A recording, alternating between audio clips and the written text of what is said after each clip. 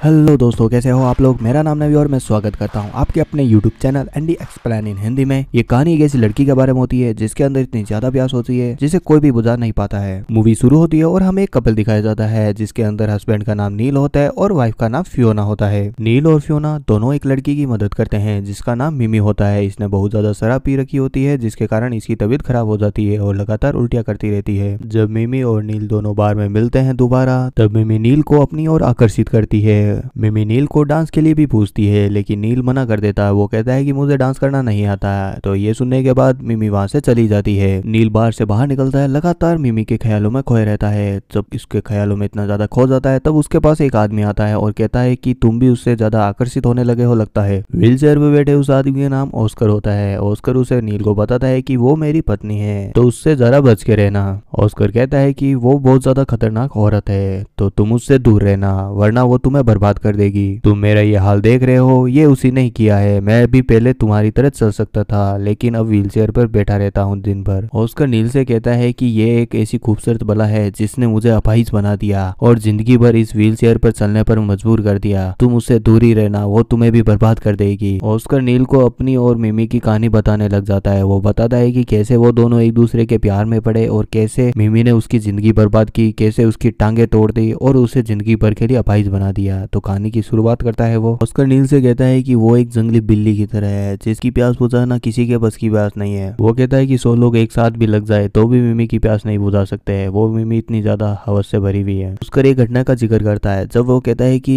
हम लोग किसी पार्टी के अंदर गए थे, तब वहाँ पर ऑस्कर किसी दूसरी औरतों से बात कर रहा था। तभी ये सब देखकर मिमी उनसे जेलिस फील करने लग जाती है और वो एक पराए मर्द के साथ उठकर जाती है और डांस करती है और उसी के साथ सोने चली जाती है। ये सब देखकर ऑस्कर का मिमी के ऊपर से भरोसा उठने लग जाता है ऑस्कर मिमी को कई बार छोड़ने की कोशिश करता है, लेकिन मिमी ऑस्कर को नहीं छोड़ना चाहती। वो उसके प्यार में एकदम पूरी तरह से पागल हो चुकी होती है। जैसा ऑस्कर बोलता, वह वैसा करने को तैयार हो जाती है। ऑस्कर और मिमी दोनों एक दूसरे के लिए ऐसे इस कदर प्यास बुझाने में लगे हुए होते हैं कि वो कई महीनों तक एक ही कमरे में बंद रहते हैं। ये सब देखकर ऑस्कर को एहसास हो जाता है कि यह एक तरह का सोने का पिंजरा है, जिसके अंदर ऑस्कर अब कैद हो चुका है और उसे बाहर निकलने का कोई भी रास्ता दिखाई नहीं दे रहा है। वह अब मिमी से उब चुका होता है। ऑस्कर को मिमी अब पहले जितनी खूबसूरत नहीं लगती थी। वह दूसरी औरतों के साथ एंजॉय करना चाहता था, लेकिन मिमी ऐसा नहीं चाहती थी। वो उसके लिए हर संभव कोशिश करना चाहती थी। मिमी का ऑस्कर के लिए इतना ज़्यादा प्यार भर जाता है कि वह उसके लिए सोचते सोचते बहुत ज़्यादा बीमार पड़ जाती है और पिलंग पकड़ लेती है। ये सब देखकर ऑस्कर काफ़ी ज़्यादा डर जाता है। वो समझ जाता है कि मिमी अब पागलपन के हद तक गुजरने वाली है। ऑस्कर मिमी से पीछा छुड़ाने के लिए एक प्लान बनाता है। प्लान ये होता है कि वो दो प्लेन की टिकटें बुक कराता है। दोनों प्लेन में चढ़ते हैं। ऑस्कर धीरे से प्लेन से वापस उतर जाता है और मिमी उतर नहीं पाती है और इस तरह ऑस्कर मिमी से अपना पीछा छुड़ा पाता है। टाइम ऑस्कर को पता नहीं होता है कि इसका अंजाम क्या होने वाला है। मिमी के जाने के बाद टाइगर आज़ाद हो गया है। वह रोज एक शिकार करता, नई लड़की को लाता और उसकी प्यास बुझाता और इस तरह टाइगर मज़े कर रहा होता है अपने जीवन में। एक दिन जब वो मज़े करके बाहर निकल रहा होता है, तभी उसका एक्सीडेंट हो जाता है। जब वो हॉस्पिटल में भर्ती होता है तो डॉक्टर उसे कहते हैं कि तुम्हारे दोनों टांगों में हल्का सा फ्रैक्चर है और तुम जल्दी तैयार हो जाओगे। तभी वहाँ पर उसे मिलने मिमी आ जाती है। मिमी को